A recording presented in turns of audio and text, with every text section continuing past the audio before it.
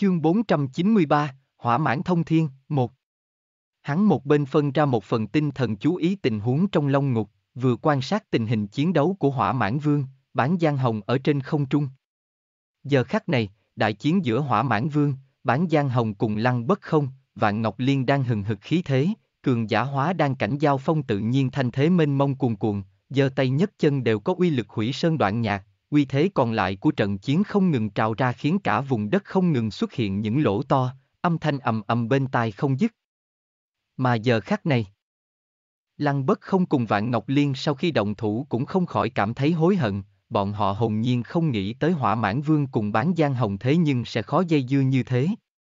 Hỏa mãn vương nếu có thể được gọi là vương, tự nhiên là cường giả xuất hiện từ phong vương chi chiến, đối thủ cùng cấp bậc vô cùng hiếm thấy, một bộ thiên cấp chiến kỹ, hỏa mãn thông thiên quyết đã luyện tới cảnh giới tiểu thành, uy lực vô cùng. Hơn nữa còn có đại thần thông, viêm long phần thiên, đã đạt tới trình độ tinh thâm cùng với bản thân có tu vi hóa đang cảnh bát trọng thiên, một long vũ giả hóa đang cảnh lục trọng thiên băng như lăng bất không thật sự không hề tồn tại trong mắt hắn. Viêm long phần thiên. Rống, rống, rống. Theo một trận long ngâm vang lên, mấy trăm đạo hỏa long màu đỏ từ trong cơ thể hỏa mãn vương thoát ra, trong nháy mắt đem lăng bất không cuốn quanh ở bên trong, uống lượng gầm thét, xoay quanh không ngừng, không ngừng vọt tới lăng bất không, đem một phương trời thiêu đốt thành một mảnh lửa đỏ, uy thế kinh người. Băng phong thiên địa. Giờ phút này sắc mặt của lăng bất không trắng nhợt, ánh mắt ngưng trọng vô cùng, hắn vội vàng thả ra từng đạo băng long bảo hộ ở xung quanh người, mưa gió không xuyên qua được, tất cả hỏa long đến gần đều bị đông lại. Đánh tan, không dám để cho hỏa long nhích tới gần chút nào. Chỉ bất quá, hỏa mãn vương thủy chung có bản lĩnh cao hơn một phần, vô số hỏa long cực nóng kia liên tiếp mà đến, áp chế băng long không ngừng lùi bước, khiến cho phạm vi hoạt động của lăng bất không càng ngày càng nhỏ. Dần dần, trên khuôn mặt già nua của lăng bất không nhanh chóng toát ra mồ hôi. Ánh mắt hỏa mãn vương cũng là lạnh nhạt, mang trên mặt một tia cười lạnh khinh thường, hai tay liên tục kết ấn, không nhanh không chậm phóng thích ra từng đạo hỏa long khí thế rộng lớn, không ngừng từng bước xâm chiếm quanh người lăng bất không. Lăng bất không ngăn chặn trái phải, càng ngày càng chật vật. Ngay lúc này, phía bên trái lăng bất không đột nhiên xuất hiện một lỗ hổng, nhất thời, một cổ khí tức vô cùng nóng đập vào mặt, làm lăng bất không không khỏi sợ run cả người, sắc mặt của hắn cả kinh, liền lập tức muốn thi triển thần thông ngăn chặn lỗ hổng. Nhưng vào lúc này, cách đó không xa đột nhiên truyền đến tiếng quát to của hỏa mãn vương, hỏa mãn thông thiên. Ngao. Theo một tiếng trống to, một đầu hỏa mãn khổng lồ dài hơn trăm trượng, trên đầu có một cái sừng nhọn hiện ra trong không trung, khí thế vô cùng kinh người. Như thân hình khổng lồ giống như một ngọn núi uốn lượn tiến lên phía trước, ngăn chặn lỗ hổng lúc trước ở cạnh lăng bất không, hung hăng đánh tới. À! Ngươi, ngươi là hỏa mãn vương. Lăng bất không nheo mắt, không nhìn được lên tiếng kinh hô, trong đầu thoáng chốc đang nhớ lại một cái tên thật là vang dội, hỏa mãn thông thiên này chính là chiến kỹ thành danh của hỏa mãn vương, phong hào của hỏa mãn vương cũng bởi vì chiêu thức này mà có được. Trong lúc nhất thời, lăng bất không không khỏi hối hận muốn chết, năm đó hắn vừa mới xuất đạo, hỏa mãn vương đã hoành hành trên đại lục. Cường thế phong vương, uy phong cỡ nào, không nghĩ tới hôm nay qua mấy trăm năm sau, chính mình thế nhưng lại đối mặt cùng lão gia hỏa này. Hừ. Ngươi cũng biết đã muộn. Hỏa mãn vương cười nhạt một tiếng, tâm ý vừa động, đầu hỏa mãn khổng lồ kia hung hăng đánh lên trên người lăng bất không. Oanh, một tiếng nổ thật lớn vang lên. Lăng bất không kêu thảm một tiếng, nhất thời hóa thành một đạo bạch quang, như mũi tên rời cung bắn ngược về phía đằng sau. Hỏa mãn vương cười cười, không chút lựa chọn bay lên phía trước, từng đạo hỏa long lần nữa cuốn lăng bất không vào bên trong, cho dù là lăng bất không mặc trên người một chiến giáp huyền bảo lục phẩm. Hắn cũng có lòng tin ở trong khoảng thời gian ngắn đem lăng bất không hoàn toàn luyện hóa. Cho tới giờ khắc này mắt thấy nắm chắc phần thắng, hỏa mãn vương mới nhàn hạ nhìn thoáng qua phong liệt ở phía dưới, nhưng con ngươi của hắn không khỏi co rụt lại. Chỉ thấy phong liệt dù bận vẫn ung dung đứng trên mặt đất, mà nữ nhân hóa đang cảnh tam trọng thiên chịu trách nhiệm chào hỏi phong liệt đã không thấy tung tích, hiển nhiên là đã bị chủ nhân thu thập. Hỏa mãn vương âm thầm đánh giá phong liệt mấy lần, trong lòng cực kỳ rung động, trên mặt như có điều suy nghĩ. Giờ khắc này, bán Giang Hồng cùng Vạn Ngọc Liên giao phong cũng tiến tới hồi kết thúc.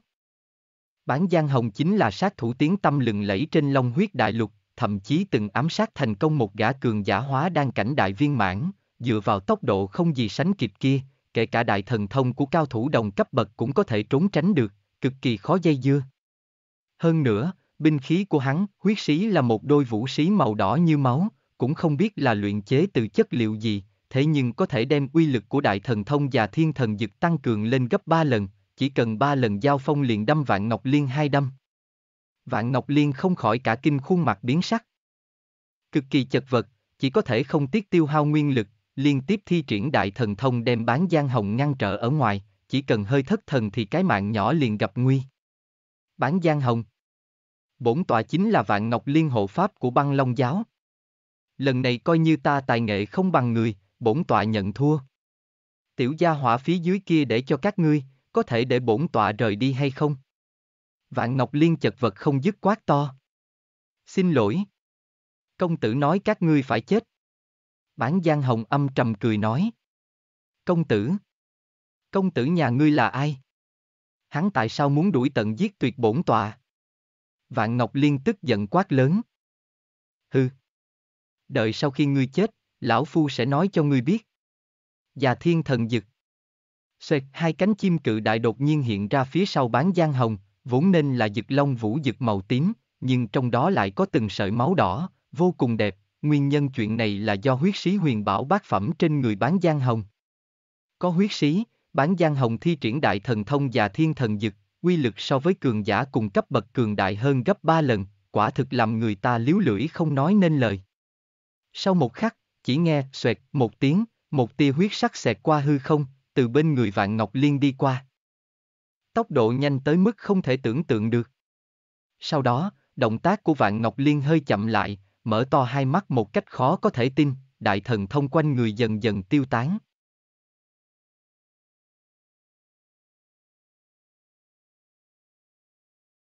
Chương 494, Hỏa mãn thông thiên, 2 Đồng thời, đầu của nàng cùng thân thể cũng tách rời, ngay cả linh hồn cũng tiêu tán vô hình.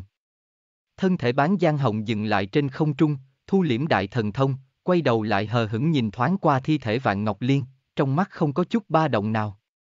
Đúng lúc này, phía dưới đột nhiên truyền đến thanh âm của phong liệt, đưa thi thể của bọn họ mang tới đây. Bán Giang Hồng hơi sững sờ, nhưng ngay sau đó không chút lựa chọn nắm thân thể cùng cái đầu của lên vạn mây liên từ trên trời cao hạ xuống, đi tới trước gót chân phong liệt, đem thi thể ném xuống đất. Công tử! Thi thể ở chỗ này. Bản Giang Hồng cung kính nói. Ừm. Phong liệt khẽ gật đầu, sắc mặt lạnh nhạt nhìn thi thể vạn ngọc liên một chút, sau đó phất tay đem thu vào trong lông ngục không gian. Mà trong nháy mắt khi hắn mở lông ngục không gian ra, bên trong vừa vặn truyền đến một tiếng rống to kinh thiên của mảnh thú. Ngao rống. Âm thanh rống to này có lực xuyên thấu vô cùng, hơn nữa đối với linh hồn có thương tổn thật lớn, phong liệt mặc dù có luyện hồn ma khải hộ thể, màn nhĩ cũng bị chấn tới mức lay động một trận. Mà thân hình bán giang hồng cũng là khe khẽ rung lên một cái, trong ánh mắt không khỏi lộ ra một tia hoảng sợ. Hắn lúc trước cũng chỉ là thấy một bóng dáng màu đen xông vào trong màn sương mù màu đen của phong liệt, cũng không thấy rõ là vật gì, giờ phút này vẻn vẹn từ một tiếng trống to này cũng có thể cảm giác được, thứ bên trong tuyệt đối không thể coi thường. Giờ khắc này, khó chịu nhất chính là Lý Thu Thủy đã tiến vào bên trong long ngục không gian. Lý Thu Thủy vốn là hoảng sợ chạy đi vì bị âm lão thú đuổi theo, chật vật tránh né ở trong không gian nhỏ hẹp phương viên vẹn vẹn có vài chục mét. Lúc này quái thú kia đột nhiên phát ra một tiếng trống to, nhất thời chấn động khiến cho lòng ngực nàng vô cùng khó chịu. Không nhìn được một ngụm máu tươi xông lên cổ họng, đồng thời bước chân cũng hơi hơi chậm lại. Mà khi thân hình nàng hơi chậm lại một chút, đầu quái vật lớn cao gần năm trượng ở phía sau kia sưu một tiếng liền nhảy vọt tới gần nàng, mau lẹ vô cùng. Đồng thời, một cây xúc tua thô to hung hăng quét tới đây, trong nháy mắt liền quét vào phía trên chiếc eo nhỏ nhắn của Lý Thu Thủy. Phanh. Một tiếng động thật lớn vang lên. Thân thể mềm mại của Lý Thu Thủy trong nháy mắt bị quét ra xa tới mấy trăm trượng, rơi trên mặt đất. Nếu không phải có bảo giáp hộ thể, sợ rằng thân thể đã bị gãy làm hai đoạn. Nhưng dù vậy, nàng té trên mặt đất cũng không ngừng học ra từng ngụm máu lớn, sắc mặt trắng bệch một mảnh. Nàng quay đầu nhìn âm lão thú kia một chút, ánh mắt kinh hãi muốn chết, quái vật này không biết từ nơi nào nhô ra thật sự quá cường hãn. Nó rõ ràng mới chỉ có tu vi tứ giai hậu kỳ, nhưng thân thể lại vô cùng chắc chắn, chẳng những đao kiếm khó làm thương tổn, thậm chí còn có thể ngạnh kháng đại thần thông của mình mà không chết. Đồng thời, lực đạo của con thú này lại lớn vô cùng, trường kiếm của mình hơi chút đụng chạm vào xúc tua của nó, sẽ bị chấn tới mức cả người khí huyết sôi trào. Gần như muốn học máu.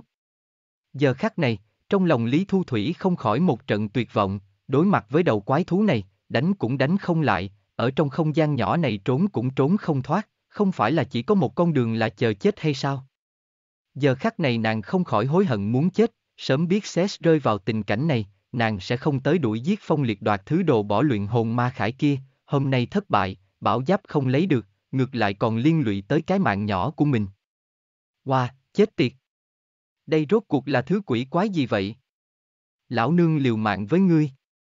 Giờ phút này mắt thấy quái thú kia sắp xông lên lần nữa.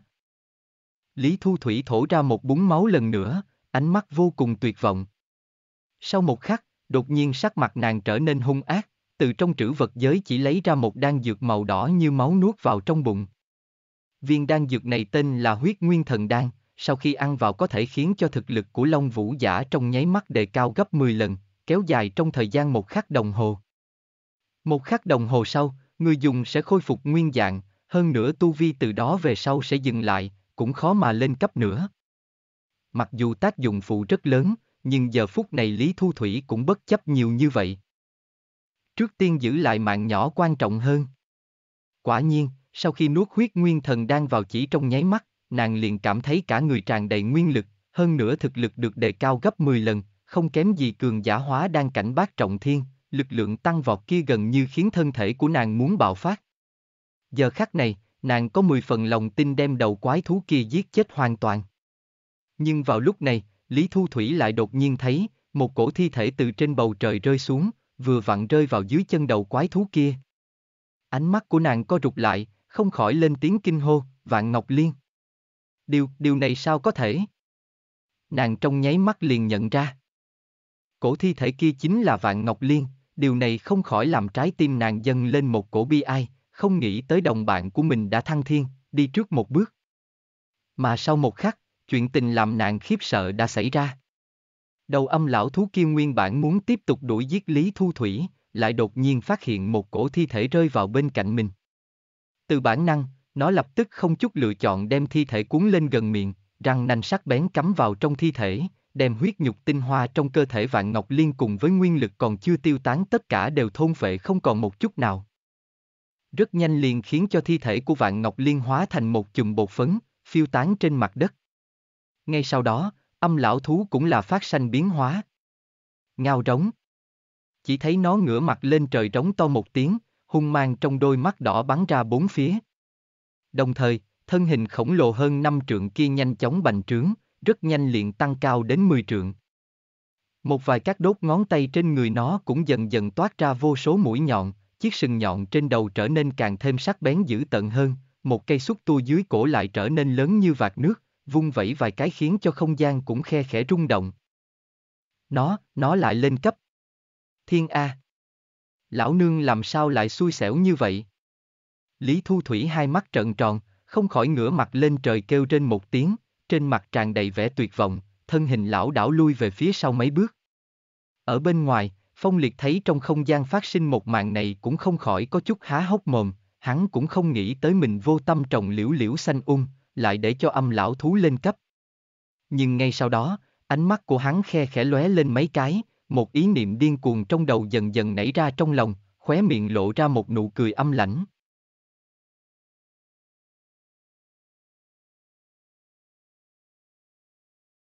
Chương 495, âm lão thú, 1 Ở bên trong lông ngục không gian, âm lão thú sau khi cắn nuốt vạn ngọc liên, thế nhưng nhất cử đột phá bình cảnh tứ giai hậu kỳ đỉnh phong, trở thành một đầu hung thú ngũ dai, khí thế hung lệ so với lúc trước mạnh mẽ hơn không chỉ gấp 10 lần. Ngao rống. Âm lão thú rống to một tiếng, chấn tới mức cả long ngục cũng khe khẽ rung động, Lý Thu Thủy bị âm thanh rống to này chấn tới mức ở tại chỗ phun ra một ngụm máu tươi lớn, thân hình lung lay, sắc mặt kinh hãi muốn chết. Sau một khắc, thân hình âm lão thú chợt chớp động, khoảng cách ngàn trượng chỉ trong nháy mắt liền tới. Chớp mắt liền đi tới phụ cận Lý Thu Thủy, xúc tua thô to đột nhiên lộ ra, cuốn lấy thân thể của Lý Thu Thủy. Băng phong thiên địa. Lý Thu Thủy sắc mặt kinh hãi, nàng cũng không dám để cho xúc tu kia đụng vào, vội vàng thi triển đại thần thông chống đỡ. Nhất thời, một đầu băng long màu trắng dài chừng 10 trượng uốn lượn hiện ra, vây quanh âm lão thú nhanh chóng xoay một vòng, lập tức đem âm lão thú đóng băng ở trên mặt đất. Chỉ bất quá, không đợi Lý Thu Thủy cao hứng, liền thấy âm lão thú đã thoát khỏi sự giam cầm của hàng băng trên người, lại lần nữa tiến lên. Băng long đại thần thông kia chỉ có khiến cho bước tiến của nó ngưng trệ một chút mà thôi. Cái kết quả này thật sự là khiến cho Lý Thu Thủy vô cùng tuyệt vọng. Bất quá, Lý Thu Thủy tự nhiên sẽ không thúc thủ chịu trói, nàng liền lập tức muốn lắc mình lui về phía sau, né tránh xúc tua của âm lão thú. Nhưng đúng lúc ấy thì, con mắt thứ ba trên cái trán của âm lão thú đột nhiên trương ra, một chùm tử mang chợt bắn ra, đem thân hình Lý Thu Thủy bao phủ ở bên trong. À! Lý Thu Thủy nhất thời không cẩn thận bị tử mang quấn vào thân, nhất thời thân hình hơi chậm lại, không nhịn được phát ra một tiếng thét chói tai hoảng sợ. Ngay sau đó, chỉ thấy một đạo hồn ảnh thoát ra từ trong cơ thể nàng.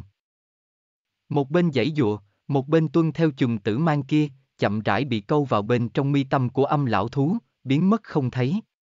Sau đó, thân thể của nàng cũng bị một cái xúc tua lớn bằng vại nước cuồn cuộn kéo lên, kéo đến khóe miệng âm lão thú, toàn bộ huyết nhục tinh hoa cùng nguyên lực trong nháy mắt bị thôn phệ không còn. Lại một lần nữa cắn nuốt một cường giả hóa đan cảnh, âm lão thú hưng phấn phát ra một tiếng trống to, thân hình to lớn chừng 10 trượng, thế nhưng lại lần nữa phình ra thêm hơn trượng nữa, khí thế đột nhiên tăng lên rất nhiều.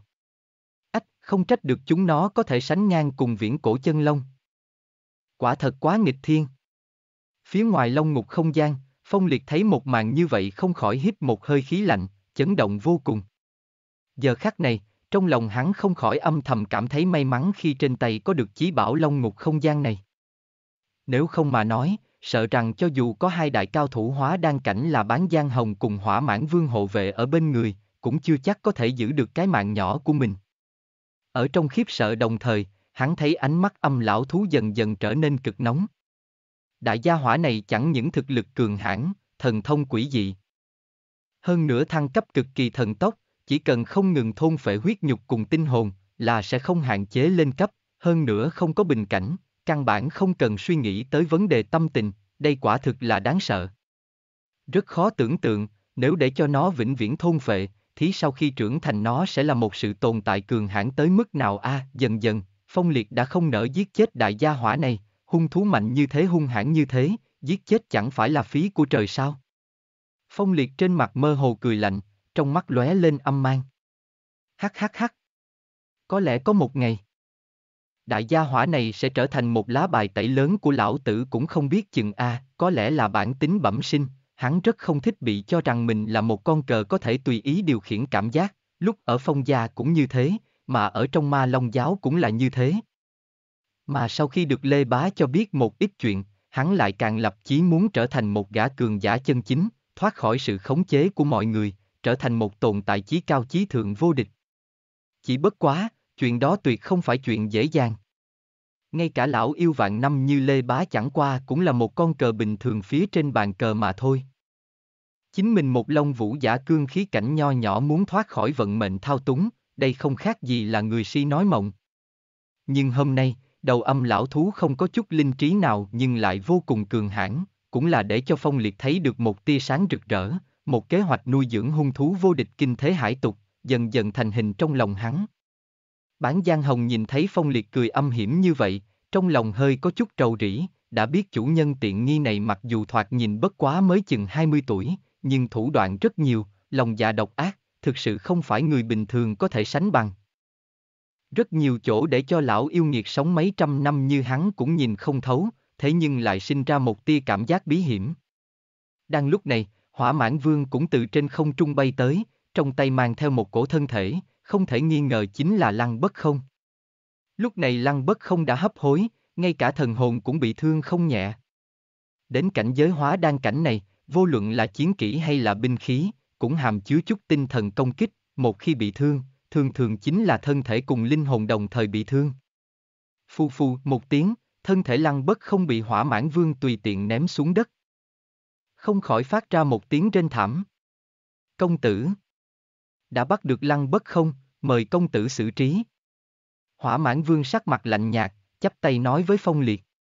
Hắn thật ra thì hoàn toàn có thể giết chết lăng bất không, bất quá, hắn nghĩ đến có lẽ phong liệt sẽ đem lăng bất không thu phục sung làm thủ hạ cũng không biết chừng, liền đem lăng bất không nửa chết nửa sống mang trở lại đây. Phong liệt khẽ gật đầu, trong mắt khe khẽ hiện lên một chút do dự, suy nghĩ xem sẽ xử trí lăng bất không như thế nào. Lăng bất không này thân là cường giả hóa đang cảnh lục trọng thiên, thu làm thủ hạ dù không sai.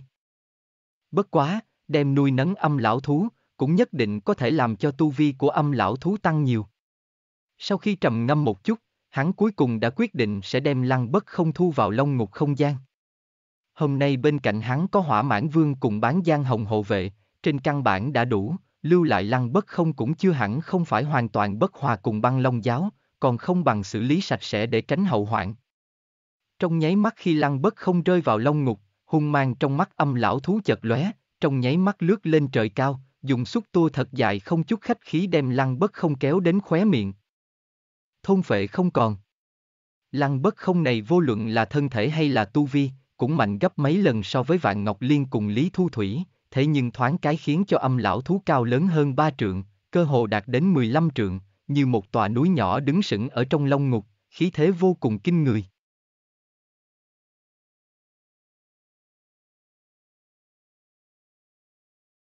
Chương 496, Âm Lão Thú, 2 Đến đây chấm dứt, Lăng Bất Không, Vạn Ngọc Liên, Lý Thu Thủy ba hộ pháp của băng long giáo đã toàn bộ tử vong, trở thành thức ăn trong miệng âm lão thú. Suy nghĩ một chút, trong lòng phong liệt không khỏi dâng lên một cảm giác hưng phấn, ba cao thủ hóa đan cảnh đã là cường giả đỉnh phong, địa vị vô cùng hiển hách, hôm nay tuy nhiên cũng thua trong tay một long vũ giả cương khí cảnh nho nhỏ như mình, cảm giác như vậy quả thực không nên quá thoải mái. Cùng lúc đó, tất cả trữ vật giới chỉ cùng binh khí, bảo giáp của ba cường giả hóa đan cảnh cũng rơi mất ở trong long ngục. Để cho phong liệt buôn bán lời một khoản thật to. Đại chiến nơi đây mặc dù thời gian quá ngắn, nhưng động tĩnh cũng không nhỏ, đã khiến cho một vài cường giả ở phía xa chú ý, phong liệt không muốn quá nhiều người nhận ra, liền cũng bất chấp cẩn thận kiểm tra chiến lợi phẩm, vội vàng gọi kim câu, tiến vào trong không trung, phi về phía xa. Sau khi ba người phong liệt rời đi không lâu, từng đạo thân ảnh với khí thế hùng hồn lần lượt đi tới bầu trời phía trên chiến trường, nhìn cả vùng đất hỗn độn không khỏi âm thầm kinh hãi. Trong đó, một gã thiếu niên tướng mạo tuấn giật cũng khống chế một tòa thần binh hình dáng như một ngọn núi đi tới phía trên không trung. Đứng lại nghỉ chân. Thiếu niên này ước chừng chừng 20 tuổi, mày kiếm mắt sáng, lớn lên nho nhã, vóc người cao to, khí chất xuất chúng, trong đôi mắt hung mang thâm thúy chấp động, làm người ta không dám nhìn gần. Nếu là phong liệt ở chỗ này nhất định có thể liếc mắt một cái liền nhận ra, thiếu niên này không phải là ai khác, chính là kẻ địch truyền kiếp của hắn, sở huyền. Lúc này sở huyền rõ ràng đã trở thành một gã cao thủ cương khí cảnh lục trọng thiên, khí thế trên người so với phong liệt cũng không kém nhiều lắm. Hơn nữa là, trên người hắn còn tản ra một cổ khí tức hoàng giả tối cao. Làm người ta không tự chủ được phát ra ý niệm vọng động muốn quỳ xuống đất cúng bái.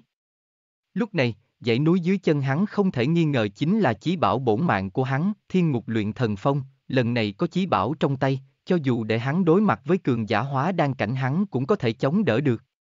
Ở phía sau hắn, còn có năm tên cường giả ngự không mà đứng, mọi người đều có khí thế kinh người. Năm người này trong đó có bốn người là cao thủ thần thông cảnh, một người khác lại là một lão giả có tu vi khó lường, nhưng cũng đứng ở phía sau sở huyền, tư thế nghiễm nhiên là của một người hầu. Mọi người nhìn đống hỗn độn phía dưới trầm mặt chỉ trong chốc lát, một gã trung niên nhân thần thông cảnh cung kính chắp tay nói với sở huyền, công tử, nơi này khắp nơi đều là khí tức của băng, hỏa thuộc tính cùng phong thuộc tính, hơn nữa dị thường cùng bạo, xem ra song phương giao chiến chắc hẳn đều là cường giả hóa đan cảnh, vô cùng có khả năng là đám người lăng bất không, Lý Thu Thủy cùng Vạn Ngọc Liên của băng Long Giáo, chẳng qua là không biết đối phương là thế lực phương nào. Ừm, xem ra lần này Long Hoàng thần phủ xuất thế, cao thủ của các đại giáo phái phái tới cũng không thiếu a. Sở huyền khẽ cau mày nói. Nhưng ngay sau đó, hắn lạnh giọng phân phó với một người bên cạnh, nói, Vương Sùng, ngươi đi báo cho Chiến Thiên, bảo hắn cần phải ở trước khi Long Hoàng thần phủ xuất thế thu thập được một cái thiên tru lệnh bài, bất kể bất kỳ thủ đoạn nào. Nếu là cần thiết có thể để cho sở hóa Long xuất thủ. Vâng. Tên trung niên nhân tên là Vương Sùng kia sắc mặt cả kinh, vội vàng lên tiếng. Hắn thân là hộ pháp của ma vũ viện ở ma long giáo, cũng là tình cờ được nghe nói về tên sở hóa long này, đây chính là một tồn tại đại chí cao trong ma long giáo, là một cường giả long biến cảnh.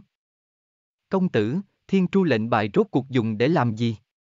Lão giả có tu vi không rõ ở phía sau sở huyền thấp giọng nói. Sở huyền xoay người nhàn nhạt nhìn hắn một cái, hừ nhẹ nói, không phải chuyện của ngươi, thì không nên hỏi nhiều. Vâng. Sắc mặt giận dữ của lão giả chợt lóe rồi biến mất trong nháy mắt, nhưng lại như cũ cung kính đáp một tiếng. Sở huyền quay mặt lên phía trên, khóe miệng hơi lộ ra một nụ cười. Long hoàng thần phủ sao? Hừ hừ. Trăm vạn năm trôi qua, bổn hoàng thiếu chút nữa đã quên đi là còn có hành cung này, thật đúng là vô hình sáp liễu a. Ở ngoài ngàn dặm, phong liệt hạ xuống từ trên trời cao. Chậm rãi đi vào trong di chỉ của một tòa thành trì cổ xưa. Ở phía trên ma quỷ bình nguyên, cổ thành di chỉ giống như vậy đếm không xuể, chỉ bất quá, người bình thường gặp phải di chỉ như vậy phần lớn đều chọn đi đường vòng, sợ như sợ cọp. Bởi vì ở trên thượng cổ chiến trường này, những thứ cổ tích này sau khi trải qua vô số năm tháng, đã sớm trở thành chỗ vui chơi của cương thi cùng chiến hồn, nếu là huyết nhục chi thân thể tiến vào trong đó, sợ rằng rất nhanh sẽ bị đồng hóa thành cương thi. Mà giờ khắc này, Phong Liệt cũng là không sợ hãi chút nào đi vào trong cửa của một tòa thành cự đại. Rống. Ngao. Từng tiếng kêu thảm thiết thê lương vang lên liên miên không dứt, một chút cương thi cùng chiến hồn đang ngủ đông ở trong bóng tối cảm nhận được khí tức của sinh linh, nhất thời từ trong cơn ngủ say tỉnh lại, nhanh chóng leo ra khỏi tường đổ, vô cùng nhanh chóng hướng về phương hướng của cửa thành dũng mãnh lao tới, chậm rãi càng tụ càng nhiều, thanh thế cực kỳ kinh người. Chỉ trong chốc lát, những thứ cương thi cùng loại chiến hồn quỷ mị này liền phát hiện ra phong liệt, sau đó nghĩa vô phản cố, làm việc nghĩa không được chùng bước, xông tới, mưu toan thôn phệ một ngoại tộc như phong liệt. Những thứ cương thi cùng chiến hồn này cũng không có linh trí, chỉ là dựa vào bản năng để làm việc, thủ đoạn cũng chỉ là lại gần người để chém giết. Mắt thấy những thứ quỷ vật này tiến lên đây, phong liệt cũng không sợ chút nào, hắn tâm ý vừa động, trước người lập tức tạo ra từng cái khe không gian thật lớn. Những thứ quỷ vật này xông về phía phong liệt, tự nhiên không thể tránh khỏi bị rơi vào trong khe không gian kia. Phía sau cương thi càng tụ càng nhiều, người sau tiếp bước, cuồn cuộn không dứt, cũng chen chúc trong thông đạo nhỏ hẹp ở cửa thành, dần dần, từng bầy cương thi đều bị đẩy vào trong cái khe. 10, 50, 100, 200, 500, 1000. Phong liệt khoảng chừng đứng yên ở cửa thành không tới nửa canh giờ, liền có hơn 2.000 cổ cương thi rơi vào trong lông ngục không gian. Nhìn âm lão thú ở trong lông ngục thích thú cắn nuốt, thân thể cao lớn chậm rãi tăng trưởng, trong lòng phong liệt cũng không khỏi vô cùng sảng khoái một trận. Bán Giang Hồng cùng hỏa mãn vương mặc dù không rõ chủ tử của mình vì sao phải bắt nhiều cương thi cùng chiến hồn như vậy, nhưng phong liệt không nói bọn họ cũng không nên hỏi, trong lòng tràn đầy cổ quái. Chỉ chốc lát sau, cử động của phong liệt tự hồ kinh động tới cương thi vương ở chỗ sâu trong thành trì. Một tiếng trống thảm rung trời đột nhiên truyền đến từ khắp mặt đất, chấn động tới mức cả tòa thành trì tan hoang một trận ba động rối loạn, trong nháy mắt sụp đổ hơn phân nửa. Ba người phong liệt khỏi con ngươi cũng không có rụt lại, âm thầm khiếp sợ không thôi, vẻn vẹn nghe tiếng hô này của cương thi vương liền biết đó cũng không phải là ba người có thể đối phó.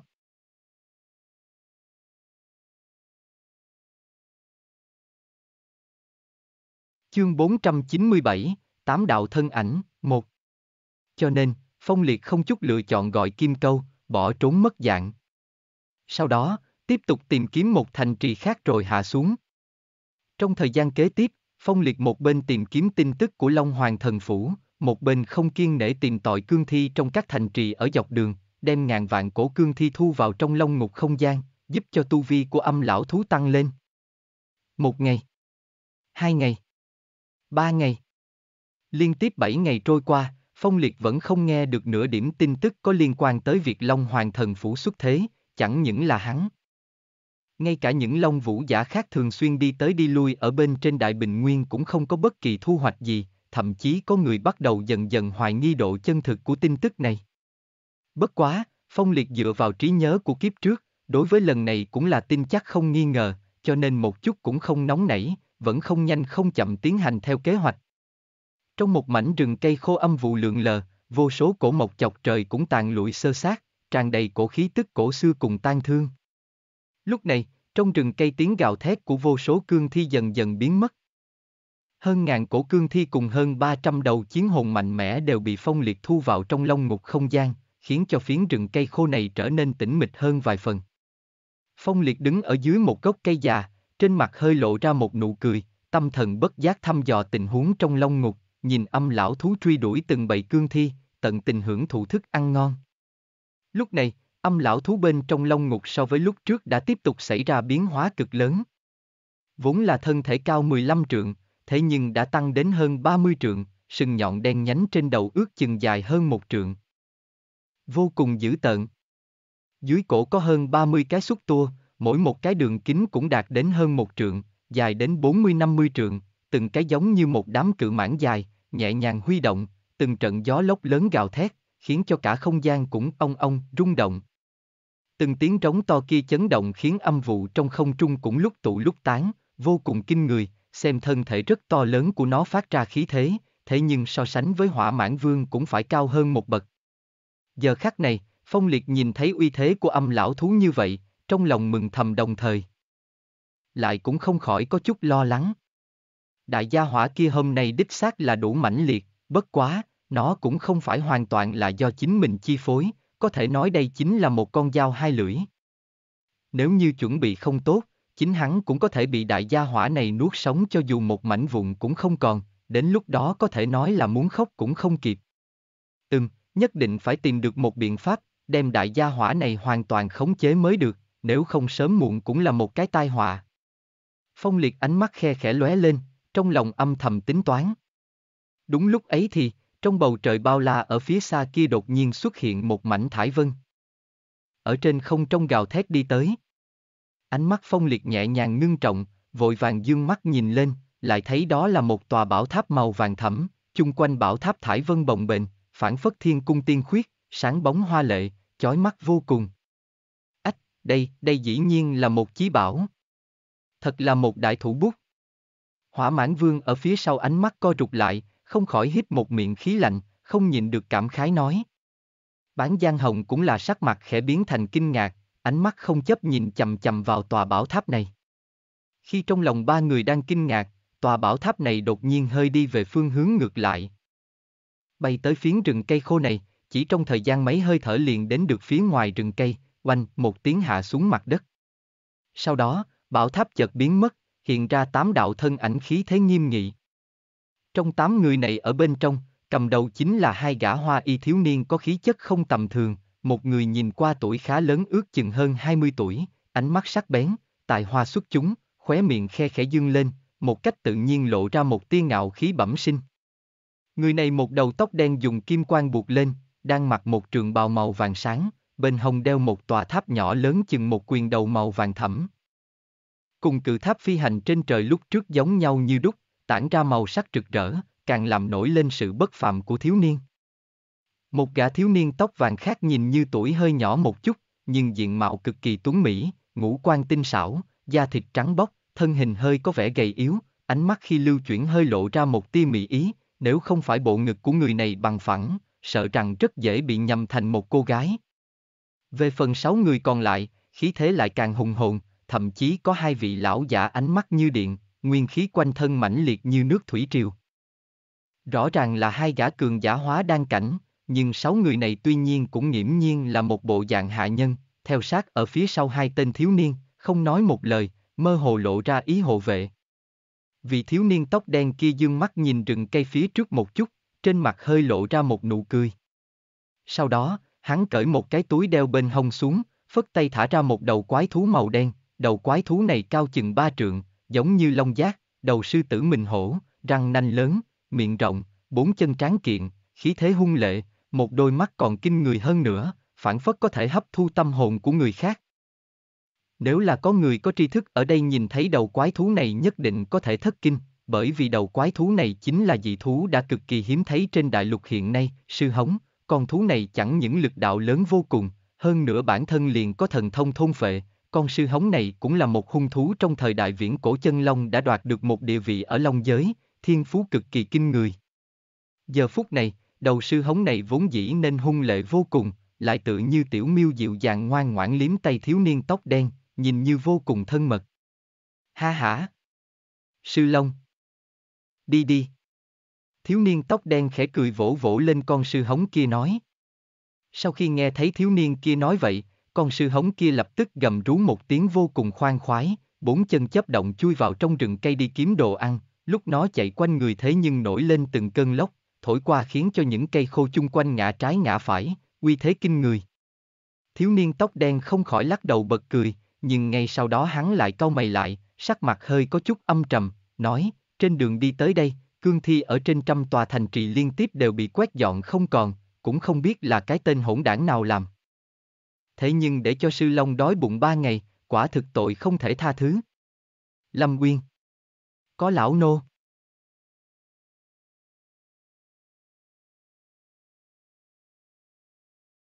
Chương 498, Tám đạo thân ảnh, 2 Một lão giả với khí thế hùng hồn tiến lên một bước, cung kính nói. An bài người hỏi thăm một chút rốt cuộc là ai làm ra chuyện đó, bổn công tử tuyệt đối không tha cho hắn. Công tử tóc đen ánh mắt lạnh lẽo, nảy sinh ác độc nói. Vâng. Lão nô nhớ kỹ. Lâm Quyên đáp. Lúc này, thiếu niên đẹp như cô gái ở bên cạnh kia cau lỗ mũi, không vui dịu dàng nói, biểu ca, cương thi phía trên ma quỷ bình nguyên này nhiều như vậy, cùng lắm thì đi nhiều thêm vài bước là được, trước khi ra khỏi cửa, phụ thân đã nói cho chúng ta làm việc gì cũng không nên phô trương, nếu là ngươi quá huênh hoang khoác lác. Sợ rằng phụ thân lần sau cũng sẽ không cho người ta theo ngươi đi ra ngoài đâu. Ha ha. Tử Nguyệt, cửu phụ hắn cũng chỉ là sợ ngươi bị tổn hại, thuận miệng nói một chút mà thôi. Gia tộc chúng ta đã không hiện thân quá lâu rồi, chỉ sợ nếu tiếp tục giấu giếm mình nữa, thế nhân cũng sẽ quên thiên hạ này là của ai à, thiếu niên tóc đen lơ đến cười lạnh nói. Vừa nói, hắn một bên lặng lẽ nhìn thoáng qua thiếu niên tóc vàng bên cạnh, trong mắt mơ hồ hiện lên một tia tham muốn giữ lấy mãnh liệt. Thiếu niên Tuấn Mỹ được gọi là tử nguyệt kia lại vẫn cái miệng nhỏ nhắn lên, tựa hồ không quá đồng ý. Nhưng cũng không nói cái gì nữa. Đúng lúc ấy thì, đột nhiên, chỗ sâu trong rừng cây bay lên ba đạo thân ảnh, hướng trời cao lao đi. Trong ba đạo thân ảnh này có hai đạo mang khí thế mạnh mẽ của võ giả, một đạo khác cũng là một đầu ác điểu khổng lồ, bay thẳng lên trời, tốc độ cực nhanh. Ừm. Có người. Thiếu niên tóc đen sắc mặt hơi sững sờ. Lúc này, ánh mắt của Lâm Quyên lóe lên một cái, lên tiếng nói, công tử, cương thi ở trong rừng tất cả cũng đều biến mất, theo dấu vết ở hiện trường xem ra, hẳn là thời gian rất ngắn, sợ rằng không khỏi có liên quan tới những người kia. Ừm. Thiếu niên tóc đen sắc mặt trầm xuống. Lạnh giọng phân phó nói, mau. Ngăn bọn họ lại. Vâng. Sáu tên cao thủ ở phía sau đồng loạt lên tiếng, triển khai khí thế, hướng về phía không trung mà đuổi theo. Ba người vừa mới rời khỏi rừng cây tự nhiên chính là ba người phong liệt. Phong liệt thấy người ta đội hình cường đại, cũng không muốn nhiều gây chuyện, dù sao cương thi nơi này cũng đã không còn, liền tính toán rời khỏi nơi đây. Lại không nghĩ, ba người vừa mới bay ra xa không tới trăm dặm, liền bị sáu tên cao thủ ngăn cản đường đi. Phong liệt đứng ở trên lưng kim câu, lạnh lùng nhìn sáu tên cường giả ở đối diện, chân mày hơi nhíu lại. Trong sáu người này thậm chí có hai gã cường giả hóa đang cảnh ngũ trọng thiên, còn lại bốn người tất cả đều là tu vi thần thông cảnh hậu kỳ, tùy tiện một người cường giả cũng là đủ để kinh sợ một phương, thực sự không thể khinh thường. Các vị, các ngươi ngăn cản tại hạ, không biết là các vị muốn làm gì? Phong liệt lạnh lùng nói. Mặc dù đối phương có đội ngũ cường hãn, hắn cũng không e ngại, dù sao phía sau mình cũng có hỏa mãn vương cùng bán giang hồng, nếu thật sự động thủ thắng bại còn chưa biết thuộc về tay ai a, sắc mặt của Lâm Uyên lạnh nhạt đánh giá phong liệt, trong mắt hơi lộ ra một tia kinh ngạc.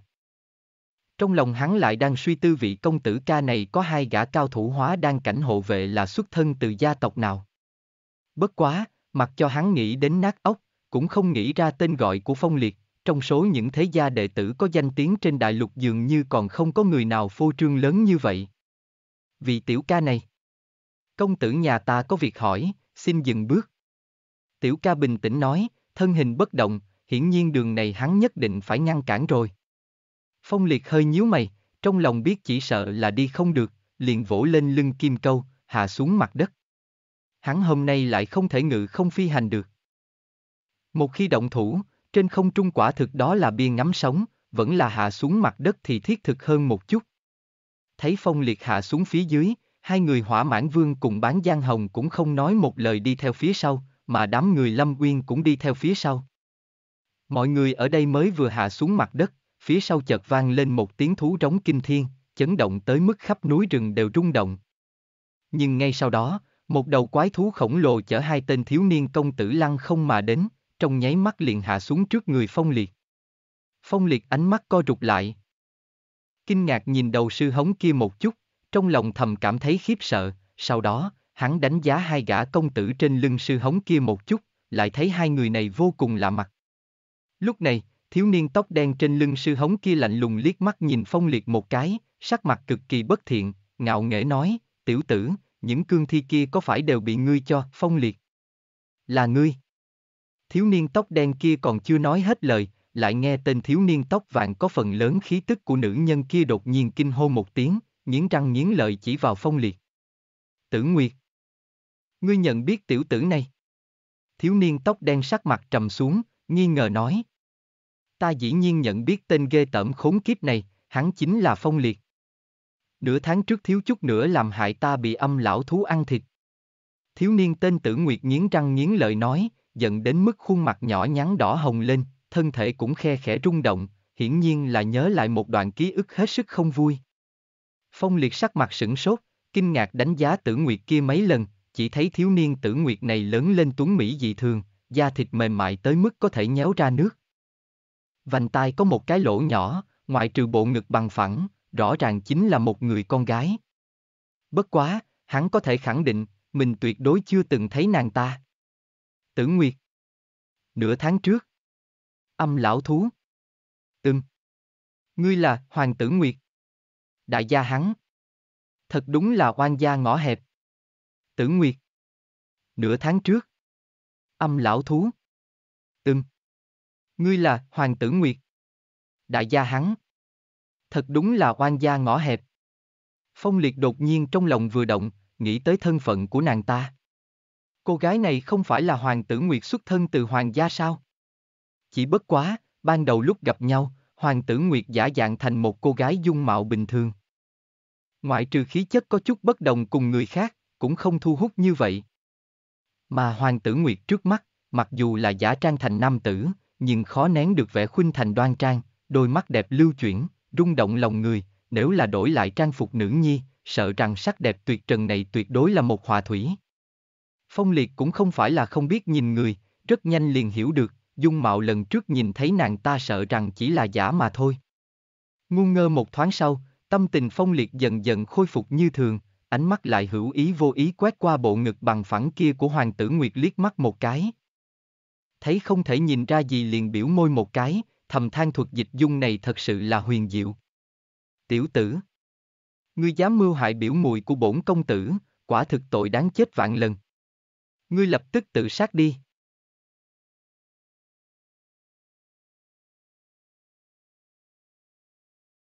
Chương 499, Độc thủ, 1 Thiếu niên tóc đen ngạo nghễ quát lạnh một tiếng, phản phất giống như hắn đang quát một gã nô tài vậy, hiển nhiên là đã quen vên mặt hất hàm sai khiến rồi. Thiếu niên tóc đen này tên là Lâm Tử Thông, thuộc về một gia tộc phụ thuộc vào hoàng gia của Thiên Long Thần Triều là thiếu chủ của gia tộc Lâm gia, bởi vì chiếm được vinh dự của hoàng gia, thực lực của gia tộc cũng là vô cùng hùng hậu, ngay thập đại chân long giáo phái đều phải nể mấy phần mặt mũi. Hơn nữa là Lâm Tử Thông này, nguyên nhân bởi vì là mẫu thân họ hoàng, hơn nữa bản thân thiên tư phi phàm. Thậm chí may mắn có thể tu luyện tuyệt học mà hoàng gia truyền thừa, địa vị được tôn sùng vô cùng, điều này cũng khiến cho hắn từ nhỏ đã có thái độ kiêu ngạo ngất trời, con mắt cao hơn đầu, ở trước mặt người ngoài nghiễm nhiên tự cho mình là người của hoàng gia. Phong liệt không tức giận chút nào, thậm chí nhìn cũng không nhìn Lâm Tử Thông một cái, chẳng qua là ánh mắt bình tĩnh nhìn Hoàng tử Nguyệt nói, Hoàng tử Nguyệt, lần trước ngươi muốn đối phó ta, mà ta lại hảo tâm tha cho ngươi một mạng, chẳng lẽ ngươi hôm nay muốn lấy oán báo ân sao? Ngươi! Hoàng tử Nguyệt không khỏi giận tới mức lông mày dựng lên. Đôi mắt đẹp trừng trừng nhìn, ngón tay run rẩy chỉ vào phong liệt nói, ngươi tên khốn này lại không biết xấu hổ nói như vậy sao? Ta mới từ lúc ngươi phá không đi ra ngoài liền gặp được âm lão thú, ngươi còn dám nói ngươi không phải cố ý sao? Phong liệt sắc mặt hơi chậm lại, ngượng ngùng sờ sờ lỗ mũi, nhất thời không phản bác được. Lại nói hắn ngày đó đúng là cũng không có hảo tâm, nhưng cô nàng này thế nhưng có thể từ trong miệng âm lão thú chạy trốn, cũng là nằm ngoài dự liệu của hắn. Lâm Tử Thông thấy Phong Liệt thế nhưng con mắt ngay cả nhìn cũng lười nhìn tới chính mình, không khỏi giận tím mặt. Chính mình có thân phận cỡ nào chứ, lại bị một tên vô danh tiểu tốt khinh thường như thế. Quả thực là không thể nhẫn nại được. Hắn lạnh lùng trợn mắt liếc mắt nhìn Phong Liệt một cái, trầm giọng nói, Tử Nguyệt. Cần gì chấp nhặt cùng một người đê tiện như vậy, trực tiếp giết hắn là được. Ngay sau đó, hắn quát lạnh một tiếng nói với mấy tên thuộc hạ phía sau, giết bọn họ. Vâng. Công tử. Đám người lâm quyên quát lớn một tiếng, lập tức thả khí thế ra, đánh tới phía mấy người phong liệt. Hoàng tử Nguyệt tức giận vạn phần nhìn chầm chầm vào phong liệt, phản phất hận không được tự mình nhào lên cắn cho hắn vài cái. Nhớ tới tình hình ngày đó, giờ phút này trong lòng nàng ta vẫn còn sợ hãi. Ngày đó nếu không phải cao thủ của gia tộc chạy tới đúng lúc, mình tuyệt đối khó có thể thoát khỏi cái chết, mặc dù nàng may mắn tránh được một kiếp, nhưng cũng liên lụy tới tánh mạng của hai gã cao thủ của gia tộc, đây hết thảy đều do tên khốn kiếp trước mắt này mang tới. Giết hắn rồi cũng coi là tiện nghi. Rầm rầm rầm. Lúc này, hai gã cao thủ hóa đang cảnh ngũ trọng thiên, bốn gã cao thủ thần thông cảnh hậu kỳ đồng thời thả khí thế ra, nhất thời làm nguyên khí trong không trung mãnh liệt cuộn trào, không khí cũng vô cùng ngưng trệ. Oanh! Oanh!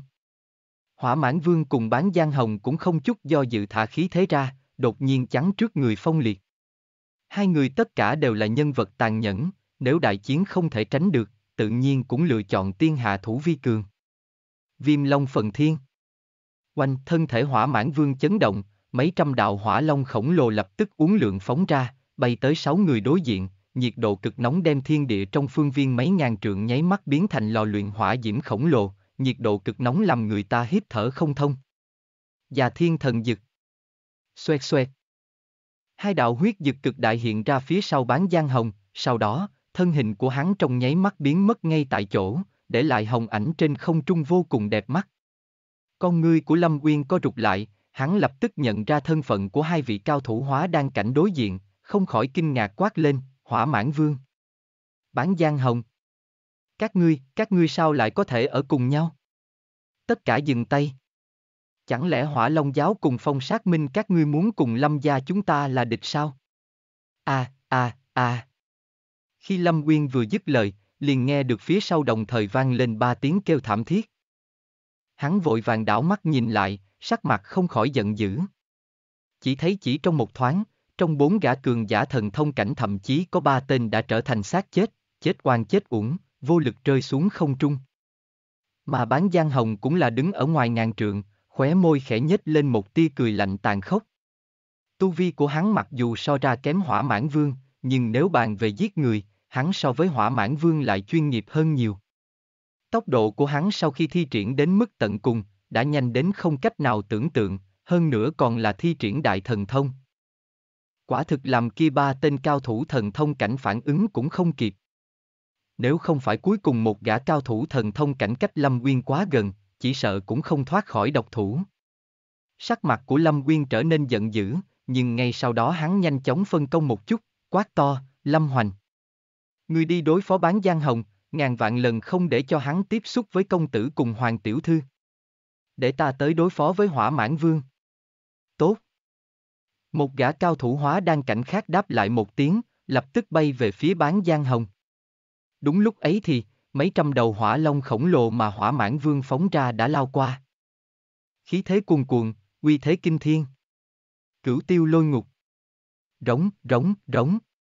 Lâm Nguyên hét lớn một tiếng, một đầu tóc xanh theo gió pháp phới, ánh mắt bén nhọn như điện, thân hình hắn đột nhiên chấn động, từng đạo lôi long thiết tác màu lam uốn lượn đi ra, hung hăng nghênh đón đoàn hỏa long kia. Oanh! Oanh!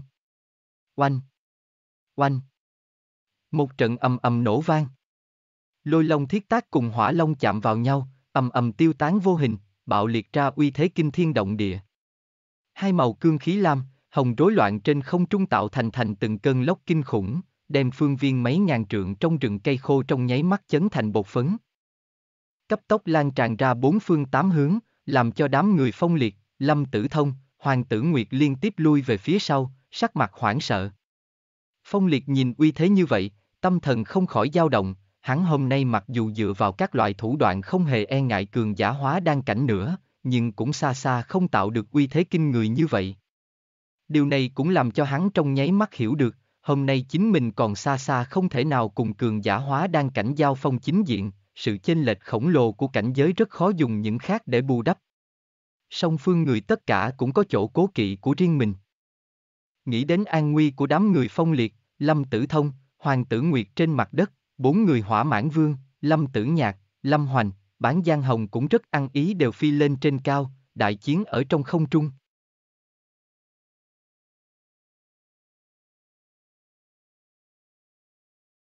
Chương 500, Độc Thủ, 2 Về phần một gã cao thủ thần thông cảnh cuối cùng may mắn chạy trốn khỏi độc thủ của bán giang hồng kia, lại nghĩa vô phản cố xông về phía phong liệt. Tiểu tử! Nạp mạng đi! Người này tên là Lâm Dược, nhìn qua ước chừng hơn 30 tuổi, là là một gã ma long vũ giả thần thông cảnh bát trọng thiên, lúc này thấy bán giang hồng bay ra xa, hắn mới dám xông lên thu thập phong liệt. Sau khi đi tới phụ cận, mắt thấy phong liệt vẻn vẹn chỉ là một tiểu tử cương khí cảnh thất trọng thiên, trên mặt hắn vốn là tràn ngập vẻ hoảng sợ đối với bán giang hồng trong nháy mắt biến thành khinh thường. Sau khi hừ nhẹ một tiếng, không chút lựa chọn vung trường kiếm trong tay lên, nhất thời, một đạo kiếm khí dài chừng 10 trượng xẹt qua hư không, cấp tốc chém về phía phong liệt. Xoẹt. Mặc dù vẻn vẹn là một kiếm bình thường, nhưng lại như cũ mang theo uy thế vô cùng, giống như đem hư không cũng chém thành hai nửa, tiếng gió xé rách màn nhĩ của người khác. Nếu như là một gã long vũ giả cương khí cảnh bình thường, cho dù là cao thủ cương khí cảnh cửu trọng thiên, dưới một kiếm này chỉ sợ không chết cũng phải trọng thương. Chỉ tiếc, Phong Liệt không phải người bình thường. Mắt thấy kiếm khí đánh tới. Phong Liệt sắc mặt không sợ hãi, hắn trong nháy mắt tế ra luyện hồn ma khải, biến ra hắc ám chi thân. Sau đó, chỉ thấy hắn trầm hông hóp bụng, cầm cúi xuống gần cổ, ngửa mặt lên trời phát ra một tiếng huyết sáo. Cùng long tán thiên, tán thiên nhất khiếu. Rống. Theo một tiếng long ngâm chấn động truyền tới, một đầu ma long hơn 10 trượng lập tức uống lượng đi ra, nhất thời, thiên địa nguyên khí bên trong phương viên mấy vạn trượng đều ùng ùng kéo tới, khiến cho ma long trong chớp mắt liền lớn đến trăm trượng, cái đuôi khẽ dao động, uy thế vô cùng kinh người. Oanh! Một tiếng nổ thật lớn vang lên. Kiếm khí cùng ma long chạm vào nhau, giống như trứng gà đụng vào tảng đá vậy, trong nháy mắt tiêu tán vô hình, mà long thể mênh mông kia cũng là không ngừng lại chút nào tiếp tục vọt tới lâm dược đang ở trên không trung. Cảnh giới đại thành của địa cấp chiến kỹ. Điều này sao có thể? Con ngươi của lâm dược co rụt lại, không khỏi lên tiếng kinh hô, tiểu tử phía dưới thật đúng là cho mình một cái vui mừng thật to. Hắn lúc này cũng không dám chậm trễ, lập tức thu hồi trường kiếm, hai tay nhanh chóng kết ấn, sau một khắc, một pho tượng bảo tháp màu đen dùng nguyên khí ngưng tụ mà thành ra hiện ở trước người. Nhất thời, vô số thiên địa nguyên khí lập tức mãnh liệt mà đến, khiến cho bảo tháp màu đen này đột nhiên cao hơn 30 trượng, tản mát ra một cổ tan thương, khí thế rộng lớn. Huyền Thiên Thần Tháp Đi! Theo một tiếng quát nhẹ của Lâm Dược, tòa tháp màu đen kia lập tức nghênh đón ma long khổng lồ. Oanh! Một tiếng đánh rách tả tơi nổ vang trong không trung, toàn bộ không gian cũng ầm ầm chấn động theo, theo đó, tòa tháp màu đen cùng ma long song song đều tiêu tán ở không trung, hóa thành một cổ gió lốc kinh khủng càng quét về phía trời cao. Lâm Dược đột nhiên phi thân lui về phía sau mấy trăm trượng. Sắc mặt không khỏi có chút khó coi, không nghĩ tới chính mình đường đường là một gã cao thủ thần thông cảnh bát trọng thiên, lại bị một con kiến hôi cương khí cảnh nho nhỏ làm cho phải sử dụng thiên cấp chiến kỹ để áp chế, hơn nữa còn ăn thiệt thòi không nhỏ, lần này thật sự là làm hắn có chút không nhìn được. Huyền Thiên Thần Tháp vốn là một thần khí viễn cổ trong truyền thuyết, nghe nói tháp này có thể hấp thu thiên địa vạn vật, là vật vây khốn tinh thần của vạn vật, hơn nữa còn có thể quán thông thiên địa, chính là cách đi duy nhất đi vào thông vãn thiên ngoại chi cảnh. Vốn đây chỉ là một truyền thuyết. Thiệt giả không người nào có thể chứng thật. Nhưng tục truyền, Lâm gia có một vị tổ tiên từng may mắn tận mắt thấy qua cái thần tháp này, rồi sau đó bế quan ba ngàn năm, thế nhưng ngộ ra một thức thiên cấp chiến kỹ có uy lực kinh người, cũng chính là chiêu thức huyền thiên thần tháp này. Lại nói nếu là đem kiểu chiến kỹ này luyện tới đại thành, liền có thể tạo thành một pho thần tháp chân chính thu dụng thiên địa vạn vật, uy lực kinh thiên. Bất quá từ xưa tới nay, Lâm gia lại không có người nào luyện đến trình độ kia, người luyện tới tiểu thành chỉ đếm được trên đầu ngón tay. Lúc này, Lâm Tử Thông ở phía xa thấy Lâm Dược chậm chạp không bắt được phong liệt, không khỏi cảm thấy không kiên nhẫn, thúc giục, Lâm Dược. Ngươi đang chơi trò gì ở đấy vợ? Thậm chí ngay cả một tên đồ bỏ đi cương khí cảnh cũng bắt không được, thật là một phế vật. Công tử thứ tội. Ta đây liền hạ tiểu tử này. Thân hình Lâm Dược khẽ rung lên, vội vàng thi lễ với Lâm Tử Thông ở phía xa, sắc mặt cực kỳ khó coi. Sau đó, hắn ngược lại vô cùng phẫn hận nhìn Phong Liệt, lạnh lùng nói, tiểu súc sinh. Thế nhưng làm hại lão tử bị công tử trách mắng. Ngươi đi chết đi. Thiên chấn. Ông, ông, ông. Sau khi một tiếng quát nhẹ vang lên. Lâm Dược không chút do dự thi triển đại thần thông thiên chấn, nhất thời, trong hư không vang lên một trận ông ông rung động, tạo thành từng mảnh sóng gợn màu đen khuếch tán về phía phong liệt, nơi nó đi qua, toàn bộ núi đá cỏ cây đều biến thành bột phấn, thành thế cực kỳ kinh người. Dưới đại thần thông của chính mình, Lâm Dược có 10 phần lòng tin đem phong liệt oanh thành bột phấn, trên mặt không khỏi lộ ra một tia cười lạnh tàn khốc. Từ xưa tới nay, lại chưa từng nghe thấy có long vũ giả cương khí cảnh nào có thể chạy trốn dưới đại thần thông của cao thủ thần thông cảnh, đó không khác gì đầm rồng hang hổ. Nhưng sắc mặt của phong liệt cũng là không sợ hãi chút nào, trên người hắn có chí bảo khôi giáp hộ thân, cao thủ thần thông cảnh thi triển đại thần thông đã rất khó uy hiếp được tánh mạng của mình, bất quá, hắn cũng không muốn mạo hiểm. Trước khi cơn sóng kia lan tới người, thân hình hắn đột nhiên ngồi chồm hổm, hai tay trống không nâng lên, một đạo thanh mang nhất thời sáng lên trước ngực. Hắc! Phong liệt sắc mặt lạnh lùng, quát nhẹ một tiếng, đồng thời hai tay đột nhiên đẩy về phía trước, phản phất có gì đó vô cùng nặng. Sau một khắc, một đạo bi ảnh màu xanh lá dài năm trượng từ trong ngực hắn đột nhiên bay ra. Trong nháy mắt xé rách cơn sóng kia này, hung hăng phóng tới người. Ừm. Đây là cái gì? Không tốt. Khi bi ảnh màu xanh lá xuất hiện trong nháy mắt, trong lòng Lâm Dược đột nhiên chấn động, thầm cảm không ổn, đạo bi ảnh kia tạo cho hắn một cổ cảm giác cực độ nguy hiểm. Nhưng hắn còn chưa kịp có phản ứng, bi ảnh màu xanh lá này đã hung hăng đụng vào người hắn, dưới tình huống nguy cấp, hắn chỉ kịp tế xuất một chiến giáp nhị phẩm huyền bảo trong cơ thể. Oanh! Một tiếng nổ lớn vang lên. Trong ánh mắt khiếp sợ của Lâm Tử Thông, Hoàng tử Nguyệt, Lâm Dược kia đường đường là một gã cao thủ thần thông cảnh bát trọng thiên. Thế nhưng trực tiếp biến mất không thấy đâu, để lại một chùm bụi trên không trung, theo gió mát phiêu tán vô hình. Tiểu tử này thế nhưng có thể giết chết Lâm Dược có tu vi thần thông cảnh bát trọng thiên. Điều này sao có thể?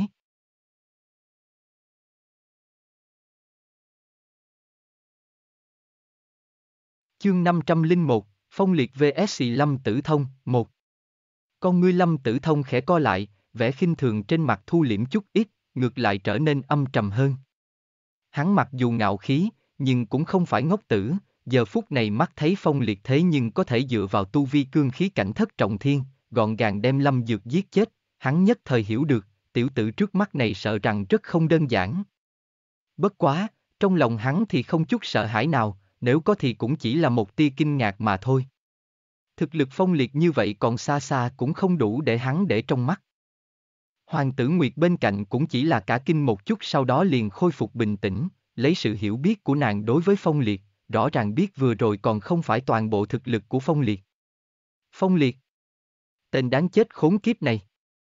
Bổn tiểu thư hôm nay muốn đích thân giết ngươi. Hoàng tử Nguyệt nũng nịu nói một tiếng, nhưng ngay sau đó rút ra một thanh loan đao màu tím, liền lập tức muốn phóng người lên phía trước. Lúc này, Lâm Tử Thông cũng là đột nhiên thả khí thế ra, phía sau hiện ra sáu đạo hư ảnh hắc long dài hơn 10 trượng, cho thấy khí thế mạnh mẽ của thần thông cảnh lục trọng thiên.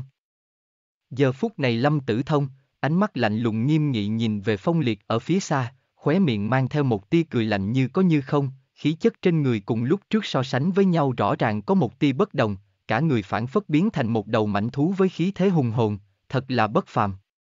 Hắn tự tay ngăn cản Hoàng tử Nguyệt, nhẹ giọng nói, tử Nguyệt, ngươi ở nơi này nhìn là được rồi, để vi huynh thay ngươi thu thập hắn.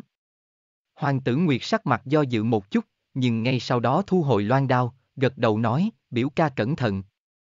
Ha ha yên tâm đi, nên cẩn thận chính là hắn mới đúng. Lâm Tử Thông lơ đến khẽ cười cười nói. Mặc dù Phong Liệt giết chết một thuộc hạ thần thông cảnh bát trọng thiên của chính mình, nhưng điều đó ở trong mắt của hắn thật sự không coi là cái gì. Phong Liệt thu hồi trấn long thiên bi, thân hình đứng trong hắc vụ, một đôi con ngươi đỏ ngầu nhìn Lâm Tử Thông cùng Hoàng tử Nguyệt khe khẽ lóe lên, giờ phút này trong lòng hắn lại có chút do dự. Nếu theo như thói quen làm việc lúc trước của hắn, nếu xác định là địch nhân, vậy tự nhiên là phải trảm thảo trừ căn, chấm dứt hậu hoạn. Nhưng hôm nay, Hoàng tử Nguyệt cùng Lâm Tử Thông đối diện lại không phải người bình thường có thể sánh bằng. Mà là người có quan hệ mật thiết tới hoàng gia có thể áp đảo thập đại chân long giáo phái. Một khi thật sự đem hai người này xử lý, chỉ sợ phiền toái sẽ liên tục không ngừng, thậm chí ma long giáo cũng chưa chắc sẽ giúp mình.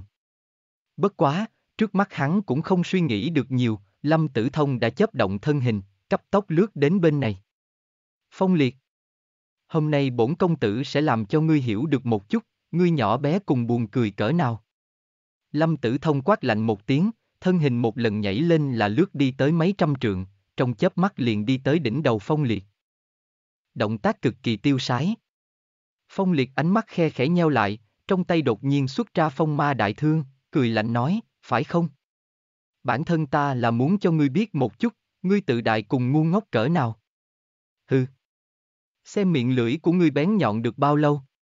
Huyền thiên thần tháp. Lâm tử thông hừ lạnh một tiếng, hai tay nhanh chóng kết ấn, một tòa bảo tháp màu đen trong nháy mắt hiện ra trên không trung. Nhất thời, vô tận thiên địa nguyên lực mãnh liệt ùn ùn kéo đến đến, khiến cho bảo tháp trong chớp mắt tăng lên hơn 10 trượng, tản ra phong cách cổ xưa cùng khí tức hùng hồn. Không nghi ngờ chút nào, hắn thi triển đồng dạng là thiên cấp chiến kỹ, thiên huyền thần tháp của Lâm gia. Hơn nữa, bởi vì hắn cùng Lâm dược cảnh giới không kém nhau nhiều lắm, cho nên cảnh giới của chiêu thức này cũng không sai biệt lắm, do đó khiến cho độ lớn của tòa bảo tháp này cũng sấp xỉ với bảo tháp mà Lâm dược ngưng tụ ra. Chỉ bất quá, giờ phút này trong lòng phong liệt cũng là chợt căng thẳng, hắn mơ hồ cảm thấy một tia nguy hiểm. Bởi vì hắn tỉ mỉ nhận thấy được, tòa bảo tháp này mặc dù một kích tương tự ngoài mặt cũng giống với lâm dược đã chết, nhưng khí tức lại rất là bất đồng. Trong đó thế nhưng hàm chứa một cổ khí tức mênh mông cuồn cuộn mang tính hủy diệt, điều này cũng khiến cho uy lực của một thức chiến kỹ này được lâm tử thông đánh ra chợt tăng hơn nhiều.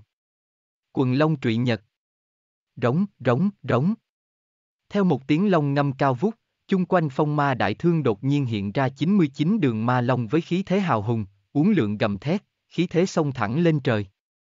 Đây chính là uy lực cảnh giới tiểu thành của quần long trụy nhật, Quy lực so với lúc trước ở cảnh giới nhập môn ước chừng đề cao không chỉ gấp 10 lần. Đi! Phong liệt vung đại thương lên. 99 đường ma long lập tức uốn lượng bay lên không, che khuất bầu trời, hung hăng vọt tới tòa bảo tháp vừa mới thành hình kia. Lâm Tử Thông khinh thường hừ lạnh một tiếng, hai tay nhẹ nhàng nhấn xuống một cái, nhất thời, tòa bảo tháp cao hơn 30 trượng này ầm ầm rơi xuống, ép tới mức không gian cũng rung động một trận, uy thế mênh mông cuồn cuộn, cực kỳ kinh người. Sau một khắc, bảo tháp màu đen cùng 99 đường ma long trong nháy mắt chạm vào nhau. Oanh! Oanh! Oanh! Oanh! Một trận nổ kịch liệt vang lên, 99 đường ma long khi tiếp xúc với bảo tháp trong nháy mắt cũng đồng loạt bị bạo liệt. Uy thế mạnh mẽ đem bảo tháp đánh bay lên trời cao, dư uy cuồng bạo làm lâm tử thông không thể không phi thân lui về phía sau, ánh mắt vô cùng run sợ. Chỉ bất quá, phong liệt cũng là kinh ngạc phát hiện, tòa bảo tháp kia mặc dù bị đánh lui, nhưng không tổn hại chút nào, sau khi 99 đường ma long hoàn toàn tiêu tán, bảo tháp thế nhưng lại rơi xuống lần nữa, uy thế không giảm, trong nháy mắt liền hạ xuống đỉnh đầu của mình. Ừm. Điều này sao có thể? Con ngươi phong liệt co rụt lại, trong lòng nhẹ nhàng chấn động. Lập tức hắn cũng không dám có ý khinh thường nữa, vội vàng tế luyện hồn ma khải ra. Nhất thời, quanh người hắn hát mang trương lên, ngàn vạn đạo hồn ảnh hiện ra vây quanh bên người hắn, âm thanh gào khóc thảm thiết vang lên liên miên không dứt. Oanh! Một tiếng vang thật lớn vang lên. Thoáng chốc, bảo tháp kia đã hung hăng đánh lên người phong liệt. Sau một khắc, chỉ thấy hắc vụ trên mặt đất bị một kích của bảo tháp chấn thành hoàn toàn tiêu tán vô hình, mà nơi phong liệt đứng, lại xuất hiện một cái hố to với phạm vi hơn 30 trượng, vết nứt to đùng kéo dài ra phía xa, nhìn thấy mà giật mình. Hừ, Con kiến hôi đê tiện, có thể chết dưới thần công của bổn công tử, cũng coi như ngươi vinh hạnh. Lâm Tử Thông ở trên không trung.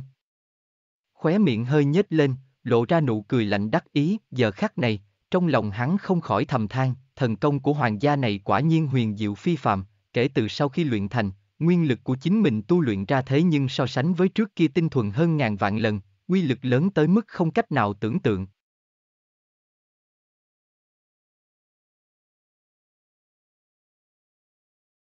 Chương 502, Phong liệt vs Lâm Tử Thông, 2 Hắn bất giác lặng lẽ liếc mắt một cái về phía Hoàng tử Nguyệt ở phía sau, vẻ tham lam ở sâu trong đáy mắt càng phát ra nồng nặc, hư. Tử Nguyệt, bổn công tử nhất định phải có được ngươi. Có được toàn bộ tuyệt học của hoàng gia.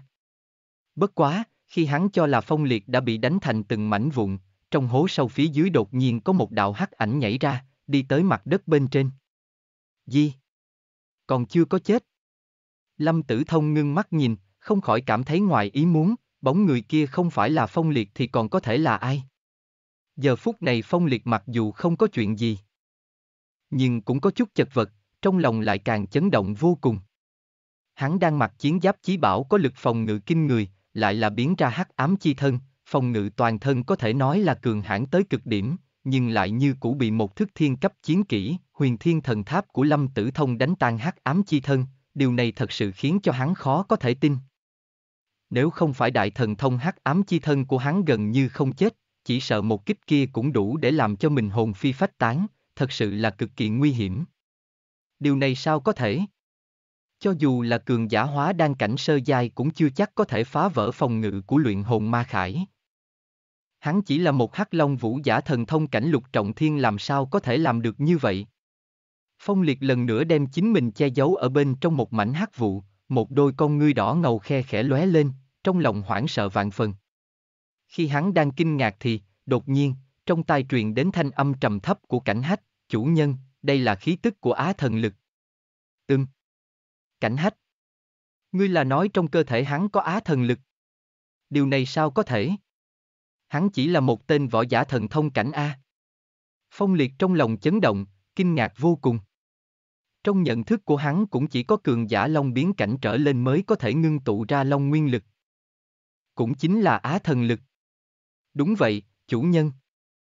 Mặc dù ta không biết hắn là lấy được á thần lực như thế nào, nhưng cái này thật sự là khí tức của á thần lực, nói chính xác thì, đây là long nguyên lực thuần khiết. Cảnh hách khẳng định nói.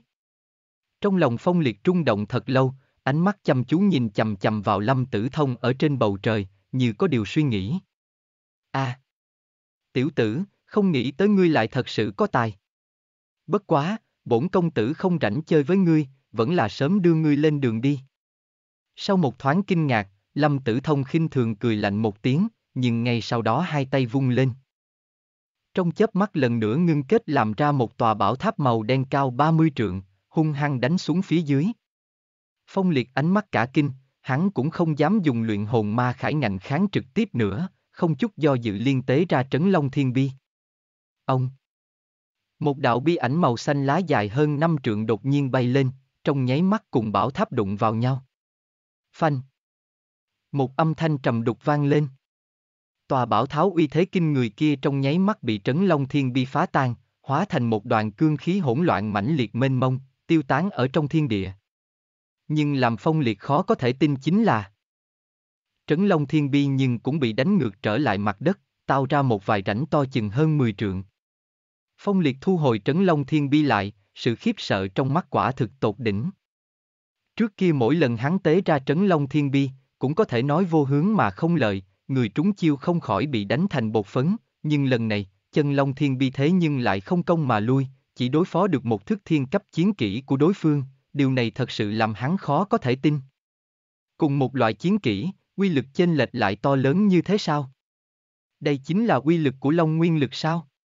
Sau một thoáng kinh hãi, hai mắt phong liệt lóe lên tinh mang, trong lòng dần dần dâng lên một cổ tham lam nồng đậm. Lâm Tử Thông này rõ ràng chỉ là một tên hắc long vũ giả bình thường, nhưng lại tu luyện ra long nguyên lực, trong chuyện này sợ rằng có vấn đề lớn a, hơn nữa là, hắn đã sớm từ trên người hoàng tử Nguyệt cảm nhận được một tia dị thường, nếu là đoán không lầm thì sợ rằng trong cơ thể hoàng tử Nguyệt cũng nhất định có long nguyên lực. Nếu là có thể từ trên người hai người này tìm được nơi phát ra long nguyên lực, rồi chuyển sang người mình thì thực lực của mình sợ rằng chắc chắn sẽ bạo tăng vô số lần. Hơn nữa, một khi có long nguyên lực, hẳn là có thể điều khiển tỏa long thai. Nghĩ tới điểm này, trong đôi mắt phong liệt không khỏi lóe ra vẻ hưng phấn nhẹ nhẹ. Đang lúc này, Lâm Tử Thông nhìn phong liệt thu hồi trấn long thiên bi, ánh mắt cũng không khỏi sáng lên. Gì? Đây là bảo bối gì vậy? Thế nhưng có thể chống đỡ được một kích thiên cấp chiến kỹ của bổn công tử. Phong liệt, thức thời thì mau chóng hai tay dâng lên tấm bia đá kia, bổn công tử có thể cho ngươi chết toàn thay. Chớ nằm mơ giữa ban ngày, có bản lãnh thì ngươi tới đây mà lấy a. Phong liệt cười dễu cợt, cắt đứt lời nói nhảm của Lâm Tử Thông. Ừm. Rượu mời không uống lại thích uống rượu phạt. Lâm Tử Thông mặt liền biến sắc, từ nhỏ đến lớn, chưa từng có người làm trái ý hắn, trong lòng vô cùng tức giận. Hắn lành lạnh cười một tiếng, tiện tay từ bên hông cởi một tiểu tháp màu vàng thẫm trông giống như một vật trang sức nhỏ xuống, ném ra ngoài không trung. Sau một khắc, tòa tiểu tháp màu vàng thẫm này trong nháy mắt trướng lớn đến 10 trượng, tổng cộng 9 tầng, có vô số luồng sáng bảy màu vòng quanh, xa hoa tuyệt mỹ, thật là bất phàm. Nhưng vào lúc này, sắc mặt hai người phong liệt cùng lâm tử thông cũng đột nhiên đồng loạt biến đổi. Phong liệt cũng là cảm thấy thiên tru lệnh bài trong trữ vật giới chỉ đột nhiên rung động lần nữa. Dựa theo kinh nghiệm lần trước, hắn trong lòng biết nhất định có một miếng thiên tru lệnh bài khác đang ở phụ cận. Mà Lâm Tử Thông cũng là trực tiếp vẫy tay, một khối lệnh bài màu vàng thẫm từ trong tiểu tháp bay ra, rơi vào trong tay của hắn. Tấm lệnh bài này đang rung động không dứt, làm bộ muốn bay ra, hơn nữa nhìn phương hướng kia, thế nhưng chính là chỉ về phía phong liệt đang đứng trên mặt đất. Thiên tru lệnh bài. Thiên tru lệnh bài. Thoáng chốc, ánh mắt của Lâm Tử Thông cùng phong liệt đều co rụt lại. Nhìn về phía đối phương cơ hồ đồng thời lên tiếng kinh hô. Vào giờ khắc này, Phong Liệt cùng Lâm Tử Thông cũng lập tức xác nhận thiên tru lệnh bài trong tay đối phương, sau một thoáng kinh ngạc, trong mắt hai người cũng chợt hiện lên một vẻ tham lam không che giấu chút nào. Lâm Tử Thông lại càng không nhịn được ngửa mặt lên trời cười một tiếng, ngạo nghễ nói, ha ha ha ha. Không nghĩ tới bổn công tử vận khí tốt như vậy, mới ra cửa không tới mấy ngày liền gặp được khối thiên tru lệnh bài thứ hai. Hơn nữa còn là ở trong tay một con kiến hôi đê tiện, thật là trời cũng giúp ta. Vận khí này tới. Ngăn chặn cũng không đỡ nổi a. Ha ha ha. Ha hả. Rốt cuộc là người nào có vận khí tốt cũng chưa biết được đâu.